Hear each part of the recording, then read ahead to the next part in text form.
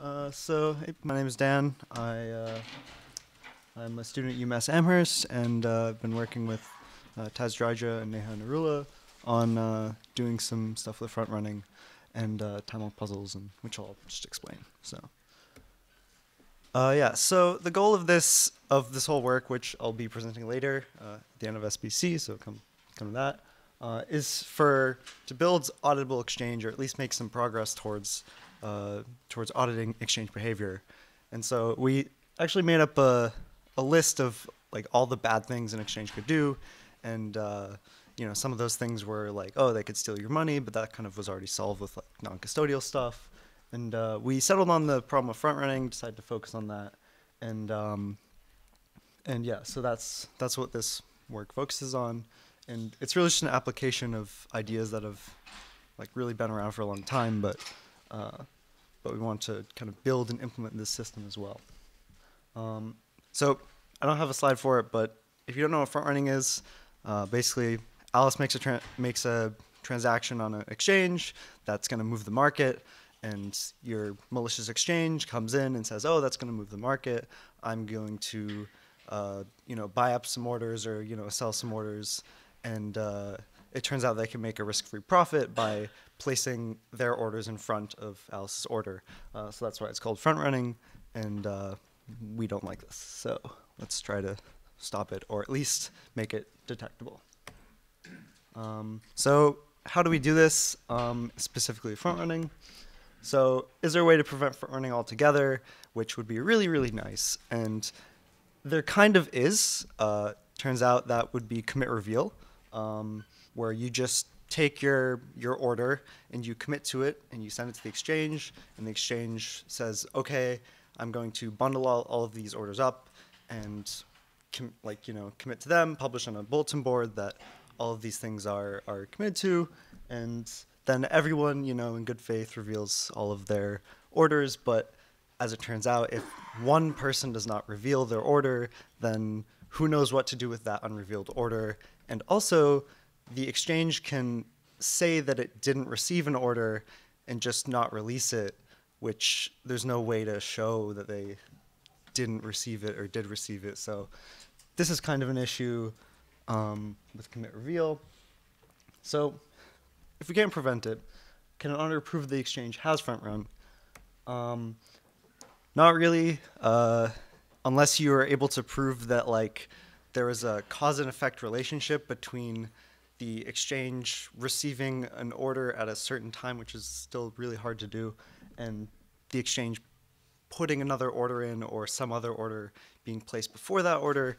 Uh, it's just in general from like a systems perspective, it's not really very easy to do. Um, so if we get into that, can we prove the exchange is not front run? And in some situations, yes, with uh, clockwork, which is what our thing is called.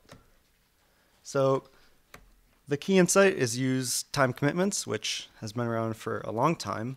Um, and uh, specifically, there is a section at the end of this paper called Honesty Preserving Au- Auctions. And while we don't use the construction described in time commitments uh, at all, well, at all, but exactly, um, we do use the same sort of general idea of time commitments. Yeah, so we construct them slightly differently. And the other important thing is we record a transcript, uh, just so that somebody else can verify the behavior. And we construct our protocol in such a way that it's easy to to show if an exchange has not front run, um, or it's, it's easy for the exchange to show that to an auditor. And so we do this by including a user attestation based on them knowing that they have not been front run, depending on when they receive messages and whatnot.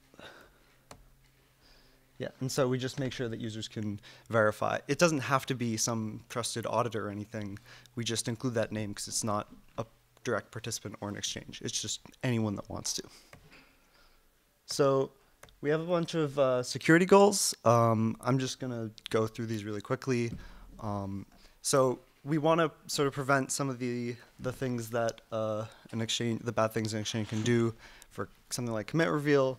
Um, through the so liveness is that thing that we were talking about where the uh, like one bad user can kill a commit reveal batch or you know binding execution all of the valid orders will execute like it doesn't matter whether or not you know they they tried to reveal or didn't reveal or whatever. So uh, this is these are basically all of our fixes to commit reveal um, that we want to satisfy. And hopefully that will get us a sort of proof of non-front running. And it's only really a proof in certain situations that are described in the paper. Um, but yes so we just want this auditing. And there we don't have order privacy or any anything like that. Um, so first there's you have your exchange they send a, uh, an, a batch id uh, this is just for identification of where to send orders um, and so you also have the puzzle difficulty, which is uh, the, and they, they publish the matching algorithm. So users will also come up with this parameter, um, which defines when they will and won't sign a batch that the exchange will then publish. Um, I'm just gonna, you'll see later what this is used for. So then all the users send orders. Uh, just this is just the, our, the like RSW time puzzle. Everyone knows this. Um, and basically, you end up sending your order ciphertext, you send the modulus, and you send the message, or not, not the message, your, your um, M to the exchange. Uh, and this includes the trapdoor. So this is the important part where you sort of like a connection to time commitments um, because there's sort of like if you end up signing uh, this batch that the exchange will create, then the exchange can very quickly uh, decrypt orders. So it's an optimization that helps the exchange not solve everything.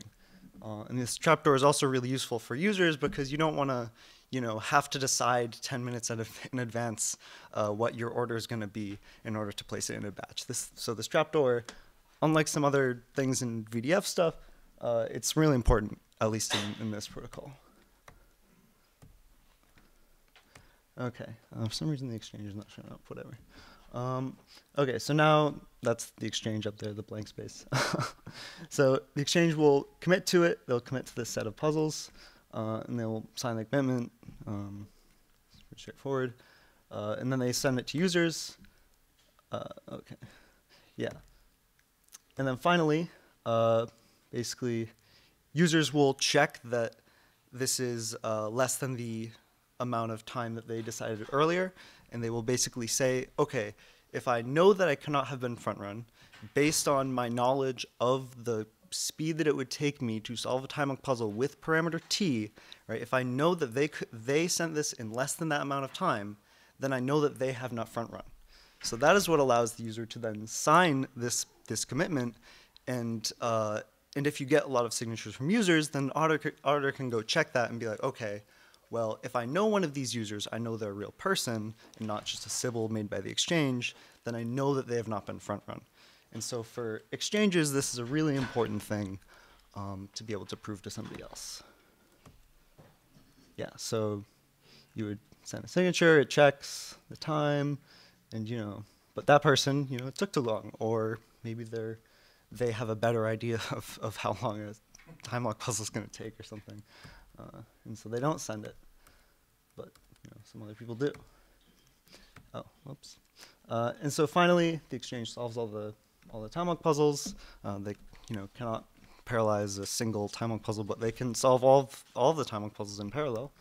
Um, yep. So go to the puzzle solver, get the results, and finally uh, get sent to the users. And so, last thing, basically, the transcript is nothing special. It's just ag basically aggregating all of the messages sent in this protocol, and everything is signed, and you know we're you, you know, using cryptography for all this stuff, so it's fairly easy to verify.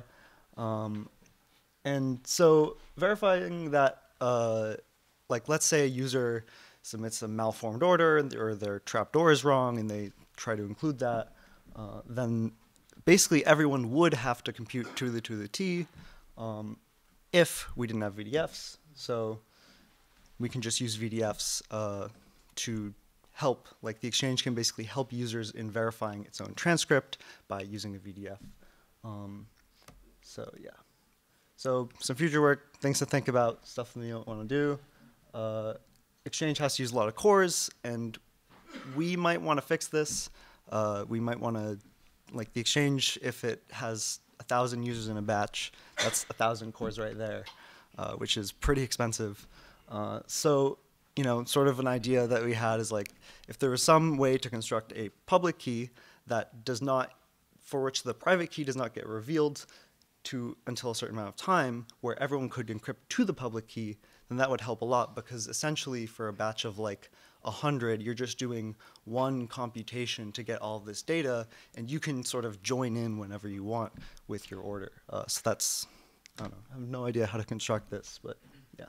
I think there is a construction. Oh, Um, using uh, the VDF. okay, okay, that's good to know.